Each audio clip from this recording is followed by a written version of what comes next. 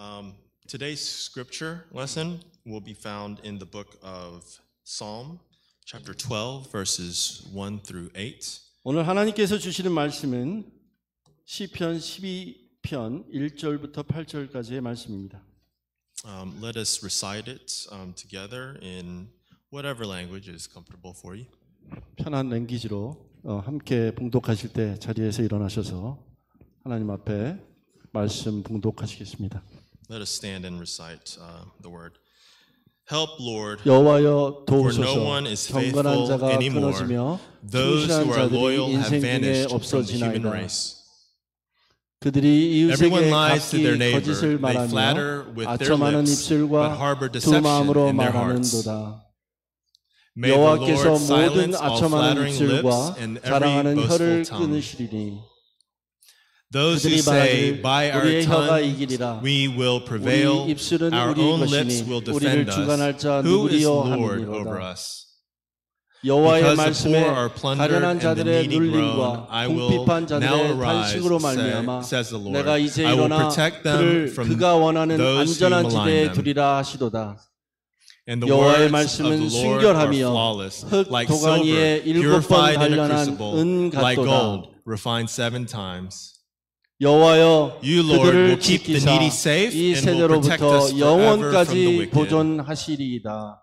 아멘. who freely strut about when what 비열함이 is 인생 중에 vile 높임을 is 받는데 honored by the 악인들이 human race. 곳곳에서 날뛰는도다. 아멘. Amen. At this time, um, Pastor Nam will come up and deliver his message today, um, entitled "The Words of the Lord Are Flawless." 나무 목사님 나오셔서 여호와의 말씀은 순결함이여라는 말씀으로 말씀 전해 주시겠습니다.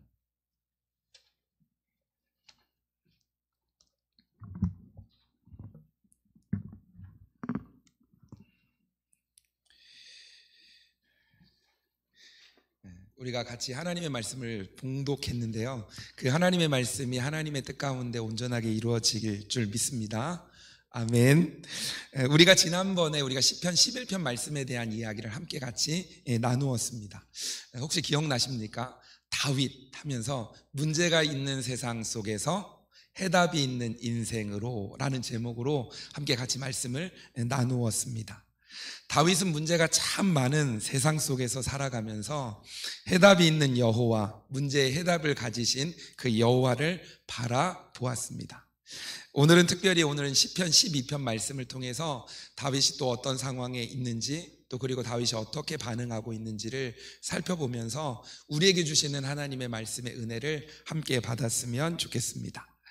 첫 번째로 다윗은 지금 어떤 상황에 놓여 있을까요? 이 말씀이 이제 1절에서부터 4절까지 말씀 가운데 나와 있는데요. 우리 1절 말씀 우리 같이 한번 읽어보면 좋을 것 같습니다. 1절 같이 한번 읽겠습니다. 시작.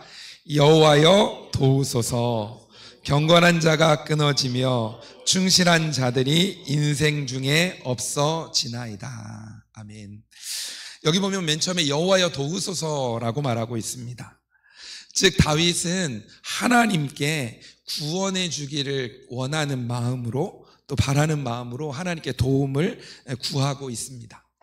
그리고 하나님의 도움만이 유일한 대안이라는 마음으로 하나님께 구하고 있는 겁니다. 여호와여 도우소서라고 하면서 다윗이 나아가고 있습니다. 다윗은 시대의 혼란과 더욱 악해져 가고 있는 상황 속에서 경건한 자가 끊어지고 충실한 자들이 없어지는 것을 보고 있었습니다. 그러니까 여기 보니까 경건한 자, 충실한 자가 없어지고 끊어진다라는 표현을 하잖아요. 그러면 반대로 어떤 일들이 벌어지냐면 악인들이 득세하고 불의가 만연한 세상이 있다라는 이야기를 하고 있는 거죠. 그러니까 그런 상황 속에서 지금 다윗이 하나님께로 나와 여호와여 도우소서라고 말씀합니다. 여기에 보면 경건한 자, 충실한 자라는 표현이 나와 있습니다. 경건한 자는 하나님의 거룩하심을 따라 사는 사람을 이야기합니다. 특별히 하나님을 총애하는 자, 하나님의 사랑은 받은 자를 말하는 겁니다. 그러니까 하나님의 사랑을 받은 자. 그리고 충실한 자라고 표현하는 것은 하나님께 충성스럽게 나아가는 사람을 의미합니다. 인격이 견실하여 신뢰할 만한 사람을 이야기하는 겁니다. 지금 여기 나와 있는 경건한 자, 충실한 자, 그런데 그들이 지금 어려움을 당하고 있다라고 말합니다. 그리고 그들의 숫자가 줄어들고 있는 것을 말하고 있습니다. 하나님을 붙잡고 하나님을 신뢰하면서 살아가는 사람들이 세상 가운데서 어려움을 당하고 세상 속에서 무시와 멸시를 받고 있다는 겁니다. 즉, 고난 중에 놓이게 되었다라는 이야기를 하고 있는 겁니다. 왜냐하면 세상의 사람들이 각각 거짓을 말하고 말씀해 보면 아첨하는 입술로 두 마음으로 말하기 때문이라고 표현합니다. 당시의 세상은 거짓이 가득하고 아첨하지 않으면 살아남기가 어려운 세상. 두 마음을 가지고 말해야 되는 거예요. 나는 두 가지 마음을 가지고 이렇게 말하지만 또 다른 부분으로 그래야 그 세상 속에서 뭔가 살아갈 수 있는 그런 곳인 것이죠. 그리고 다른 사람들을 따돌리고 또 누명을 씌우고 이제 그러면서 내가 높아지는 그런 세상인 것입니다. 한번 보세요. 지금 다윗이 이야기하는 그 세상. 근데 어디선가 많이 본 세상 같지 않으세요? 어디선가 많이 느끼는 세상 같지 않으세요? 여러분 요즘에 그런 느낌 들지 않으십니까? 그런 느낌 들지 않으십니까? 무엇인가 부패한, 무엇인가 잘못된, 죄악된, 악이 가득한 것 같은 세상. 그리고 그 가운데 정직하게 하나님을 따라가는 것이 그로 인해서 힘들고 어려운 상황인 것처럼 여겨지는. 어떻게 보면 다윗이 살았을 때 그때는 BC 천년 정도 됐거든요. 그럼 지금이 2024년이잖아요. 더하면 3천년 정도 전에. 그러니까 3천년 전에 다윗도 그것들을 느끼는 겁니다. 근데 지금 우리도 그것들을 느끼고 있는 거죠. 사절 말씀에 보면 이렇게 말하고 있습니다. 사절 말씀 우리 한번 다 같이 한번 읽어볼까요? 사절 다 같이 한번 읽겠습니다. 시작. 그들이 말하기를 우리의 혀가 이기리라. 우리의 입술은 우리의 것이니 우리를 주관할 자 누구리요 함이로다. 그들이 말하는 겁니다. 우리의 혀가 이긴다. 우리의 입술은 누구의 것이다? 우리의 것이다. 그러니까 우리를 주관할 자가 누구냐라고 말하고 있습니다. 이들에는 이들 가운데는 하나님이 없는 겁니다. 하나님이 없으니까 그 가운데 나를 드러내는 거죠. 나의 입술, 나의 말 이것들을 드러내는 겁니다. 그러니까 지금 뭐냐면 교만한 마음을 가지고 있는 자들입니다. 그 마음을 가지고 있는 자들이 그 세상 가운데 뭐예요? 그 기득권을 가지고 또 그리고 무엇인가 영향력을 미치는 위치에 서서 그 역할들을 감당하고 있는 세상입니다. 그러니까 약한 자를 짓밟고 또 그 가운데 사람들을 속이고 이간질하는 그 세상을 이야기하고 있는 거죠. 그리고 8절 말씀에도 보면 이렇게 말씀하고 있는데요. 8절 한번 볼까요? 비열함이 인생 중에 높임을 받는 때에 악인들이 곳곳에서 날뛰는도다. 사회가 부패하고 나니까 비열해야 그 사회에서 높아질 수 있는 겁니다. 그러니까 뭔가 정직하면 안 되는 거예요. 그리고 뭔가 아첨을 하고 아부를 해야 되는 것 같은 세상인 거죠. 그러니까 그곳에서 악인들이 곳곳에서 어떻게 해요? 날뛰며 이렇게 표현하죠. 날뛰며 그 세력들을 펼쳐가고 있는 그 세상의 모습을 이야기하고 있습니다. 이런 세상 속에서 다윗은 하나님께 탄식하면서 구원을 바라며 도움의 기도를 지금 간절히 하고 있는 겁니다. 지금 세상 가운데 악이 가득한 그로 인해서 힘들고 어려운 상황들이 있고 정직한 자가 그리고 그 하나님을 바라보는 자들이 힘들고 어려운 상황 속에서 하나님께 나아가는 겁니다. 그리고 3절에는 이렇게 표현합니다. 다윗은 하나님은 모든 아첨하는 입술과 자랑하는 혀를 끊으시는 분이라는 표현을 합니다. 그러니까 하나님께서 그것들을 다 해결할 수 있는 분이라는 것을 다윗은 알기에 그 하나님 앞에 나아가는 겁니다. 환란과 고난 가운데 도울 수 있는 분이 하나님입니다. 유일한 대안이 되시는 분이 하나님이십니다. 그러니 도움을 구하면서 하나님께 간절하게 그 가운데 나아가는 그 모습이 지금 첫 번째로 나와 있습니다. 자, 그렇다면 두 번째, 다윗은 하나님의 말씀을 봅니다. 5절, 6절에 해당되는 말씀인데, 5절 말씀에 보면은요, 우리 5절 같이 한번 읽어볼까요? 5절 말씀. 시작. 여호와의 말씀에 가련한 자들의 눌림과 궁핍한 자들의 탄식으로 말미암아 내가 이제 일어나 그를 그가 원하는 안전한 지대에 두리라 하시도다. 아멘. 아멘. 여기 보면 가련한 자, 궁핍한 자라는 표현을 합니다. 이건 누구를 이야기하는 거냐면 하나님의 사람들을 이야기하는 겁니다. 즉 성도를 가르치는 말입니다. 성도들은 하나님의 말씀대로 살아가다 보면 세상 가운데 여러 가지 핍박을 받게 되어집니다. 하나님의 뜻대로 삶을 살아가기 때문에 억울함을 당하기도 하고 하나님의 말씀을 따라 살아가기 때문에 사람들로부터 어려움을 당하기도 한다는 겁니다. 다윗은 그런 자들을 하나님이 이제 일어나 하나님이 원하시는 안전한 지대로 두리라고 말씀을 하는 것을 보니까 그 다윗이 그 하나님을 바라보면서 구원의 소망을 갖게 되어지는 겁니다. 하나님의 때가 되면 전능하시고 전지하신 하나님께서 하나님의 사람들을 안전한 지대로 안전한 곳으로 인도해 주실 것을 믿는 거죠. 약 악한 자, 아첨하는 입술, 또 자랑하는 혀를 하나님께서 어떻게 해요? 끊어버리실 것에 대한 확신을 갖게 됩니다. 그 하나님에 대한 확신이 다윗에게 있는 거죠. 그러니까 다윗에게 이 말씀이 다윗에게로 들어오게 되어지는 겁니다. 그러니 다윗은 하나님께 도움을 구하는 것입니다. 그리고 6절 말씀에 보면 이렇게 말씀하고 있죠. 6절 말씀. 6절 말씀 우리 다 같이 한번 읽겠습니다. 시작. 여호와의 말씀은 순결하며 흙 도가니에 일곱 번 단련한 은 같도다라고 말씀합니다. 아멘. 여호와의 말씀은 흙 도가니에 일곱 번 단련한 은 같도다라고 말씀하고 있죠. 다윗은 하나님의 말씀이 순결하다라고 말합니다. 그리고 흙 도가니에 일곱 번 단련한 은과 같다라는 이야기를 하는 거죠.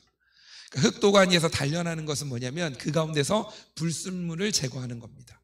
한 번, 두 번, 몇 번이요? 일곱 번. 그럼 그 안에 있던 불순물들이 다 제거가 되어지는 거죠.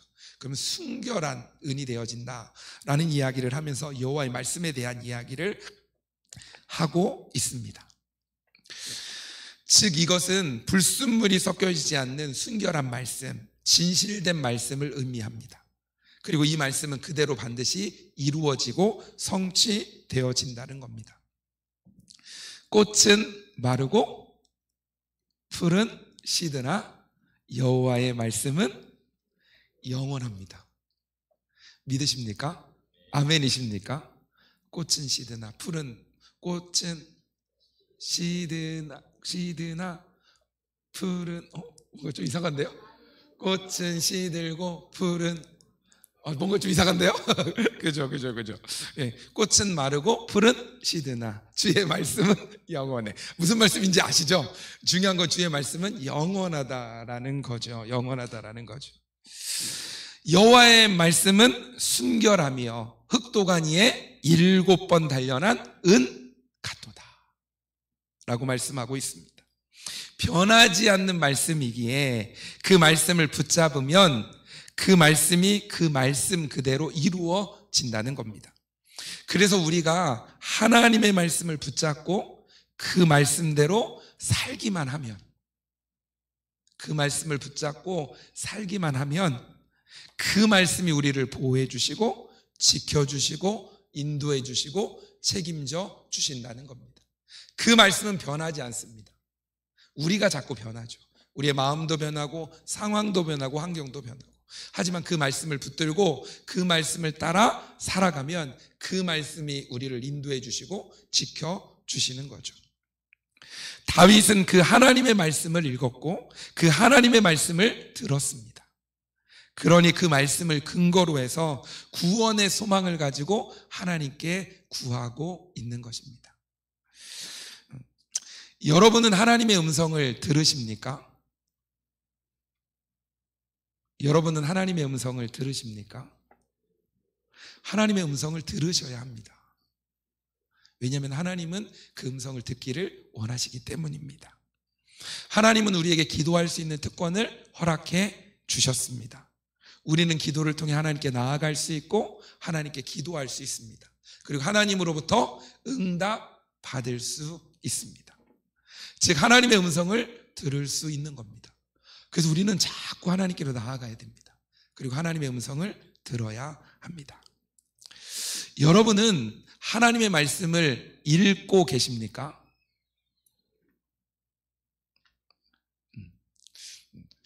제가 딱 보니까 갑자기 제 눈을 좀 피하시는 분들이 있네요.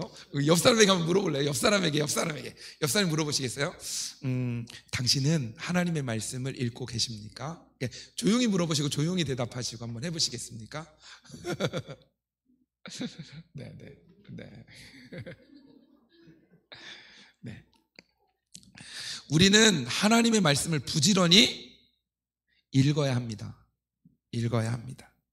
하나님은 하나님의 말씀을 통해서 우리에게 말씀해 주십니다. 그래서 하나님의 뜻을 알려면 하나님의 말씀을 읽어야 합니다. 때로는요, 하나님의 뜻을 제가 모르겠어요. 하나님 알려주세요라고 말하는데, 그 말씀은 또 안 읽더라고요. 말씀을 읽어야 됩니다.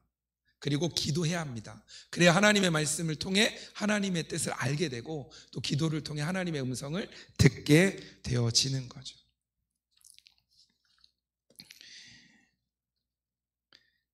성경책이 있습니다.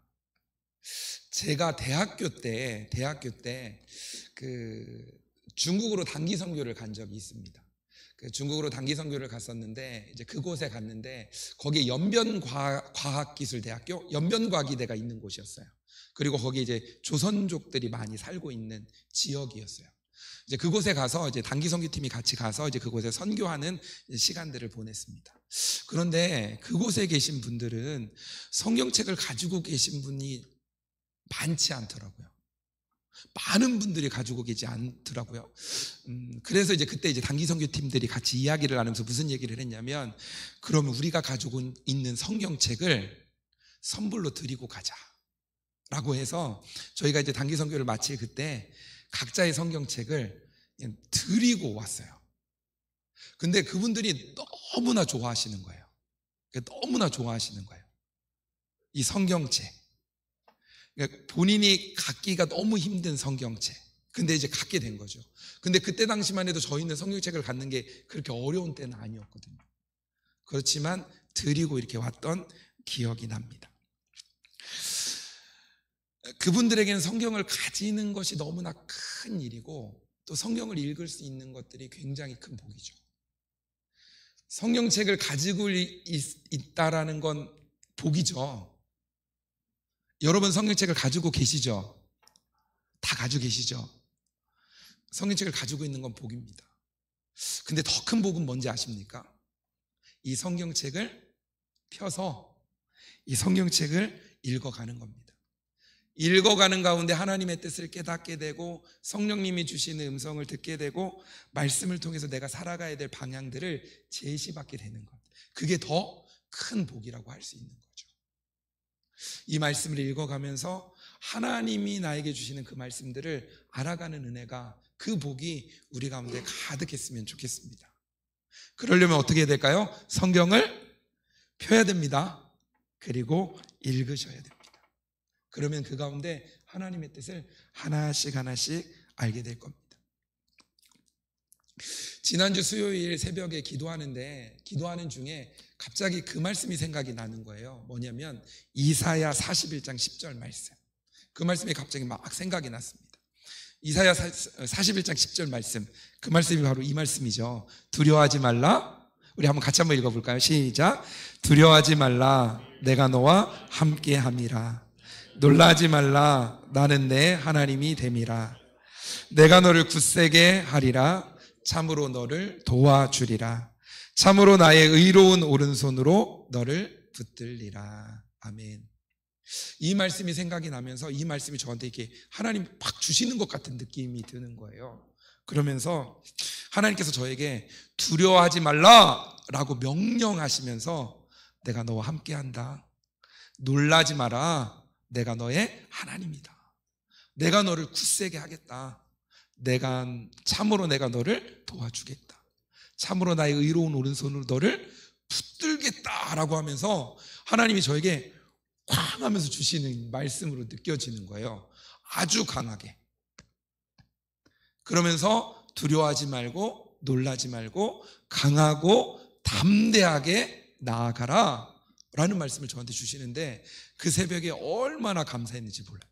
하나님의 말씀이 제 안에 임하면서 그 말씀 가운데 주시는 은혜가 있었습니다. 혹시 여러분 기억나십니까? 2년 전 우리 열린교회 대신방을 할 때 이 말씀을 가지고 함께 같이 나누었었습니다. 그때 생각이 나더라고요. 그러면서 함께 이 말씀을 나누면서 신방하면서 같이 말씀 또 그리고 같이 기도하고 또 했던 그런 시간들이 있었습니다. 우리 2024년도에도 신방이 있습니다. 어, 우리 아이들이 개강하기 전에 개학하기 전에 신방하는 시간들을 가질 겁니다. 7월 24일부터 7월 28일부터 8월 4일까지 주일부터 주일까지 해서 그 시간들을 가질 텐데 그 시간을 위해서 여러분 기도하시면서 준비하셨으면 좋겠습니다. 그리고 저도 기도하면서 준비할 겁니다. 하나님이 주실 말씀, 또 우리 가정을 통해서 하나님이 하실 말씀, 이 말씀을 주시는데 그 말씀이 제 안에 딱 들어오니까 강하고 담대한 마음이 더 많이 생기는 것들을 느끼게 되었습니다. 하나님께서는 성도들에게 놀랍게도 기도할 수 있는 특권을 주셨습니다. 아멘이십니까? 그런데요, 더 놀라운 사실이 하나 있습니다. 하나님께서 기도할 수 있는 특권을 주셨는데 더 놀라운 건 많은 성도들이 기도하지 않는다는 겁니다. 하나님께서 주신 특권. 우리는 놀랍게도 하나님의 말씀을 선물로 받았습니다. 근데 더 놀라운 사실은 뭔지 아십니까? 많은 사람들이 이 성경을 읽지 않고 있다는 겁니다. 기도할 수 있는 특권 엄청난 겁니다. 말씀을 읽을 수 있는 특권 엄청난 일입니다. 그런데 이것들을 하나님 앞으로 나아가 기도하고 하나님 앞에서 말씀을 보는 일을 하지 않으면 그 특권을 누릴 수 없는 거죠. 누리는 은혜가 우리 가운데 있었으면 좋겠습니다. 기도의 자리로, 말씀의 자리로 자꾸 나가십시오. 그리고 그 가운데 하나님이 말씀하시는 걸 들으십시오. 하나님의 뜻이 무엇인지를 알아가고 깨달아 가십시오. 그러면 그 말씀이 그 하나님의 음성이 우리를 인도해 주실 것입니다. 다윗에게는 이 성경책이 없었어요. 다윗에게는 이 성경책이 없었어요. 우리는 구약, 신약 이것도 한 권으로 돼 있는 또 그리고 다양한 버전들이 있어가지고 쉽게 이해할 수 있는 성경을 우리에게 선물로 주셨습니다. 다윗 시대보다 훨씬 더 좋은 시대를 우리는 살아가고 있습니다. 하나님이 그 기회를 우리에게 허락해 주신 거죠. 요즘에 주일학교에서요 아이들이 성경 읽는 이야기를 제가 들었습니다. 어떤 친구가 그 얘기를 하더라고요. 어, 저는 12장을 읽었어요. 그 얘기하더 12장을 읽었어요. 또 어떤 친구는 저는 창세기를 다 읽었어요. 어, 아마 이제 이게 여름방학 하면서 이렇게 막 읽기 시작한 것 같아요. 그래서 창세기를 다 읽었어요. 지금 그 아이들 안에서 막 주일학교 아이들이 지금 말씀을 이렇게 읽고 있습니다. 어, 이렇게 들으면서 아, 너무 감사하다. 감사하다. 오늘 아침에도 보니까 아이들 막 성경책 이렇게 딱 끼고 이렇게 오더라고요. 막 들고. 성경 막 들고 오더라고요. 그러니까 아이들이 그렇게 하고 있는 거죠. 음. 그러니까 보면서 되게 좋기도 하죠. 근데요, 한번 생각해 봐야 됩니다. 우리 아이들이 말씀을 읽고 또 그리고 우리 아이들이 말씀 속에 삶을 살아가는 거 보면서 뿌듯하고 너무 좋은데 또 한편으로 생각해야 될 건 뭐냐면 나는 어떤가에 대한 부분을 한번 생각하셔야 됩니다. 아, 그래, 너 잘한다, 잘해. 그래, 그렇게 해야지. 하고만 있으면 안 되고, 나도 같이 말씀을 읽으면서 또 말씀을 주시는 깨달음을 아이들과 같이 나누면서 삶을 살아가야 되는 부분들이 있는 거죠. 이제 그러면서 아이들에게도 말씀을 읽도록 하고 나도 말씀을 읽으면서 그 말씀을 자꾸 자꾸 보는 거죠. 그러면서 하나님의 뜻을 알고 하나님의 뜻을 아니까 하나님의 뜻대로 삶을 살아가고 그리고 내 생각을 내려놓고 내 고집도 내려놓고 내가 가지고 있었던 것도 내려놓고 하나님 말씀이 이렇게 하면 순종함으로 한 걸음 한 걸음 걸어 나아가는 거죠. 우리 열린 교회 아이들 어린 아이부터 해서 어른까지 그 말씀을 읽을 수 있는 은혜를 주셨고 또 그리고 기도할 수 있는 특권을 주셨으니까 우리 어린아이부터 어른까지 우리 모두가 이 말씀을 읽을 수 있는 은혜 또 그리고 기도할 수 있는 특권을 다들 누리면서 삶을 살아가는 은혜가 우리 가운데 가득하길 소망합니다. 아멘, 아멘, 아멘. 그세 번째로는요, 다윗은 하나님의 말씀을 신뢰합니다. 7절 말씀에 보면 이렇게 말씀합니다. 여호와여 그들을 지키사 이 세대로부터 영원까지 보존하시리다. 아멘. 다윗은 하나님의 말씀을 근거로 하나님은 끊겨져 가는 경건한 자를 또 이 없어져 가는 충실한 자들을 지키시고 영원히 보존할 것에 대한 확신을 갖게 되었습니다. 다윗은 전지전능하신 하나님께서는 사람 하나님의 사람들을 지키시고 보존하실 분임을 신뢰하게 되었다는 거죠. 그러니까 어떻게 해요? 영원까지라는 단어를 사용합니다. 지금뿐만 아니라 앞으로 영원까지 하나님이 보존해 주실 것에 대한 확신이 있으니까 당당하게 삶을 살아가게 되어지는 겁니다. 이것은 허황된 것이 아닙니다. 단지 다윗이 긍정적인 사고, 긍정적인 마인드를 갖고 있기 때문에 하는 것이라고만 생각해서는 안 됩니다. 다윗에게도 분명히 문제가 있었고 어려움이 많은 세상이라는 걸 인지하고 있습니다.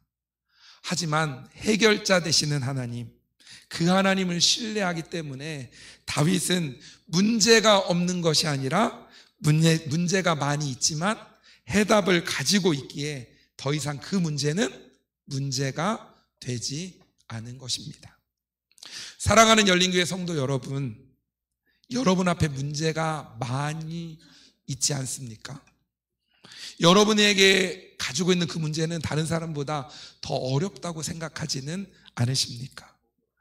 그런 것들이 있다면 그 문제 안에서 머물러 있지만 마시기를 바랍니다. 그 문제에서 나오시기 바랍니다. 그 문제의 출제자가 되시고 해답에 되시는 해결자가 되시는 그 하나님께로 나와 그 하나님을 붙잡으시기를 바랍니다. 그렇게 되면 더 이상 그 문제는 문제가 됩니까? 안 됩니까? 안 되는 것이죠. 내가 해결하려고 하면 문제가 되지만 하나님 안에서 해결하려고 하면 문제가 되지 않는 겁니다.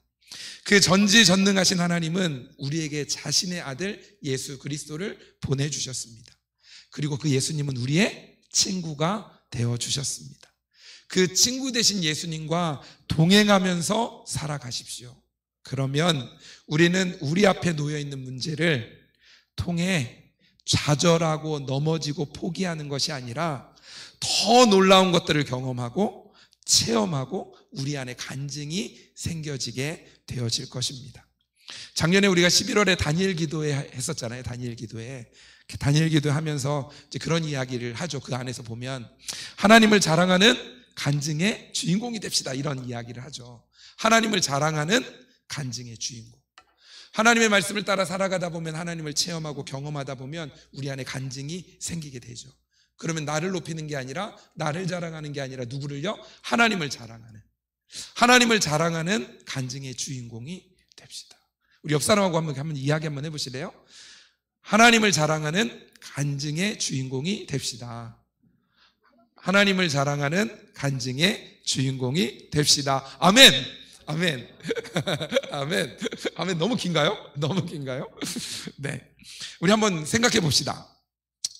우리 이게 단계를 보면 세 단계가 나오죠. 오늘 보면 첫째 단계는 뭐냐면 다윗 앞에 어려운 상황이 있다라는 단계가 있고 두 번째 단계는 뭐냐면 하나님께 나아가서 그 하나님을 말씀을 듣게 되는 단계가 있습니다.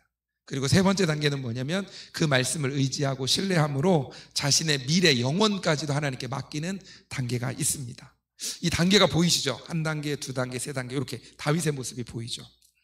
여러분은 만약 이 세 단계 중에 어느 단계에 있냐라고 질문하신다면 여러분은 어느 단계에 있는 것 같습니까? 처음 단계, 상황이 힘들고 어려운 단계. 두 번째, 하나님의 말씀을 듣고 또 하나님의 음성을 듣는 단계. 세 번째는 들었기 때문에 신뢰함으로 그분께 맡기며 나아가는 단계. 첫 번째, 두 번째, 세 번째 어느 단계이신 것 같습니까? 아, 그 단계요? 그 단계. 네, 네. 그 단계. 근데 여러분 꼭 기억하셔야 됩니다. 우리는 몇 단계로 가야 될까요? 3단계로 가셔야 됩니다. 우리의 방향성은 3단계를 향해서 가야 됩니다. 그런데 한꺼번에 3단계로 가면 좋겠지만 쉽지 않습니다. 그래서 이제 우리가 생각해야 돼요. 여러분이 혹시나 1단계에 있다면 첫 단계에 있다면 몇 단계로요? 2단계로 가십시오. 2단계에 있다면 또 3단계로 가십시오. 한 단계씩 전진하면서 나아갈 수 있으면 좋겠습니다. 그래서 결국에는 하나님이 원하시는 그 모습으로 믿음의 장성한 분량으로 나아가는 겁니다. 이제 그런 전진이 우리 안에 있기를 소망합니다. 아멘, 아멘. 우리 반주자 좀 반주해 주시면 감사하겠습니다. 에, 사랑하는 열린교회 성도 여러분, 다윗에게는 어려움이 없던 것이 아닙니다. 너무나 많은 어려움과 모함들이 있었습니다. 그렇기 때문에 하나님께 도움을 요청하고 하나님께 나아갔더니 하나님의 말씀을 듣게 됩니다. 그리고 이제는 그 말씀을 의지해서 내가 영원토록 하나님을 의지하며 나아가겠습니다 라고 말합니다. 우리 열린교회 모든 성도님들이 한 단계씩 전진했으면 좋겠습니다. 그 다음 단계로 다음 단계로 하나님이 원하시는 그 단계로 전진하는 은혜가 있었으면 좋겠습니다. 더욱 하나님을 신뢰함으로 문제가 많은 이 세상 속에서도 해답이 되시는 하나님을 붙잡고 예수님과 동행함으로 어떤 상황과 환경 속에서도 승리하며 살아가는 복된 인생이 모두 되시길 주님의 이름으로 축복합니다. 아멘.